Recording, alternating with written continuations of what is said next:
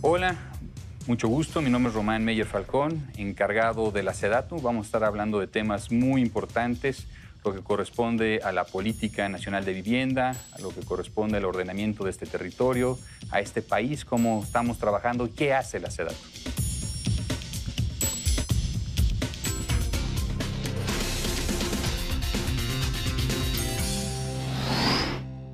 Román Meyer, eres el secretario más joven del gabinete, de la secretaría más joven del país. Y tienes un retote. O sea, tu secretaría se llama la Secretaría de Desarrollo Agrario, Territorial y Urbano. Entonces empecemos diciendo, ¿qué es esto? ¿Con qué se come la SEDATU? Este, ¿Cómo lo explicarías en palabras sencillas? Es complicado poder definir qué hace la SEDATU. A grandes rasgos es una secretaría que coordina el desarrollo sobre el territorio. Y esto prácticamente quiere decir que tenemos que coordinarnos con otros órdenes de gobierno. Con los estados, con los con municipios. los municipios, prácticamente. Recordemos que al, al final de cuentas, varias instituciones, CFE, Pemex, SCT, otras secretarías, otros órdenes de gobierno, digamos, vamos tejiendo sobre un mismo campo, que es el territorio. De alguna forma, el objetivo central de la Secretaría es hacer esta coordinación. Y también vemos lo que corresponde a la parte agraria, la política agraria, y lo que corresponde a la política nacional de vivienda. Tú eres arquitecto por el TEC, luego estudiaste una maestría en Cataluña, en España, y hablas de un concepto que es el enfoque social de la arquitectura. ¿Cómo se come esto? ¿Qué tiene que ver la arquitectura con lo social?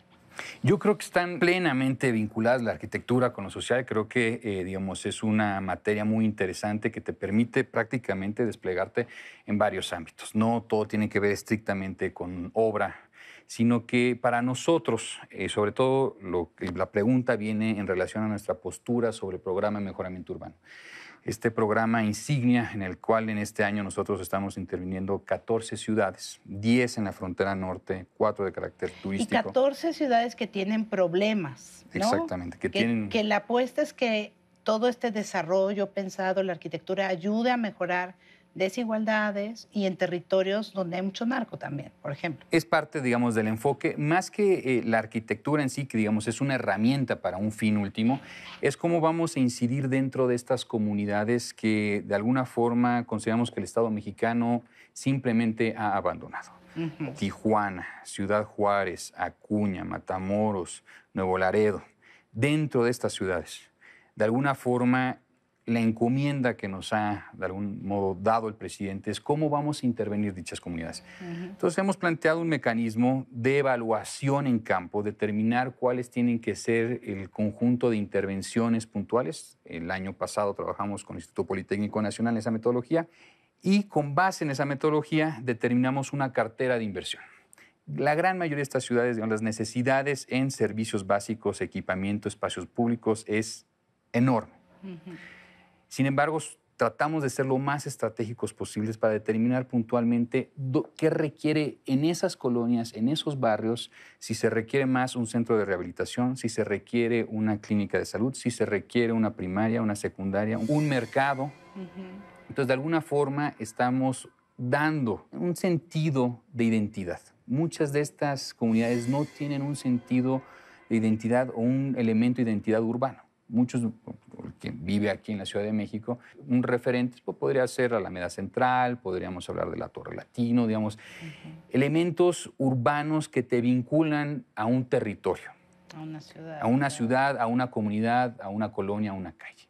Muchas de estas comunidades carecen y estas poblaciones carecen de un referente Claro. y que al mismo tiempo Y la pueda apuesta es funcionar. mejorar la vida de las personas mediante todos estos elementos. ¿no? Exactamente. Es fascinante.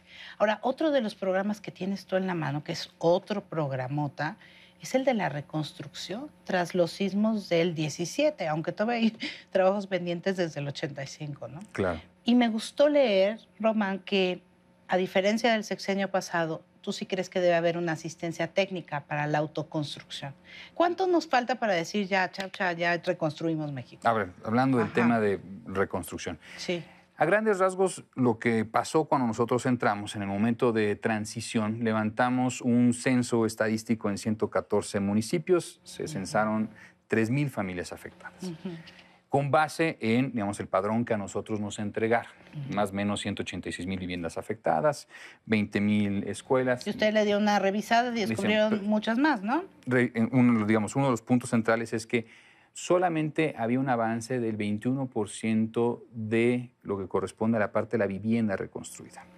Esto prácticamente pues, te da un, datos muy importantes y donde la gran mayoría de la población lo hizo a través de recursos propios.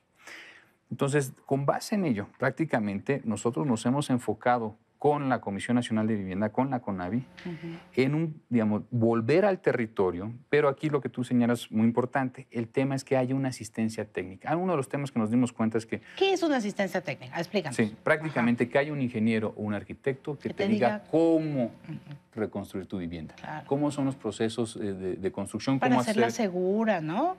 Cómo, cómo, tienes que hacer un armado de una columna, cómo tienes que ser un armado de una, de, una losa de cimentación, de una, de una contratrave y en muchos casos, muchas familias optan también por poner su mano de obra. Entonces nosotros en... A veces optan y a veces no les queda de otra, ¿no? Eh, nosotros les damos la opción, ¿Sí? de alguna forma. Eh, si quieren hacer más con el monto disponible, pues tienen que aportar su mano, de, obra, ¿no? Entonces, de alguna forma, nosotros toda la información la recopilamos y en las oficinas centrales hacemos una evaluación determinamos qué se tiene que hacer por cada vivienda, porque uno puede ver una vivienda que fue afectada con un valor de 90 mil pesos o que requiere 240 mil Sí, porque en una viven más personas que en otra, en una hay una persona con discapacidad y fueron las afectaciones diferentes. Entonces aquí, por eso estamos ese, digamos, tejido fino, es que vamos vivienda por vivienda, familia por familia. O sea, un plan de reconstrucción personalizado. Así es. Y de, de alguna forma, y con un proceso de administración. Entonces, conforme los avances, se van ministrando los recursos con el cuerpo técnico, la familia se involucra directamente con mano de obra o no, y, digamos, prácticamente la gran mayoría de estas eh, intervenciones de estas viviendas nos están tomando entre cuatro a seis meses. En ese sentido, se acaba de aprobar las leyes secundarias de la reforma educativa. En las leyes secundarias de la reforma educativa desaparecieron el INIFED, el Instituto Nacional para el Desarrollo de la Infraestructura Educativa. Y este dinero se le va a dar a los padres de familia para que ellos mejoren las escuelas a su criterio. A mí eso también me preocupa, a ti, ¿no? Mira, ese programa en particular, como lo ha comentado el presidente, se está centrando en lo que son mejoramientos, digamos, muy precisos, eh, donde de alguna forma se tiene que remodelar los baños, que se tiene que cambiar aplanados, pero vamos a sacrificar la seguridad. Hay expertos que dicen, esto es preocupante, se puede sacrificar la seguridad. Como está pensándose este programa, no tiene que ver estrictamente con temas estructurales de los edificios.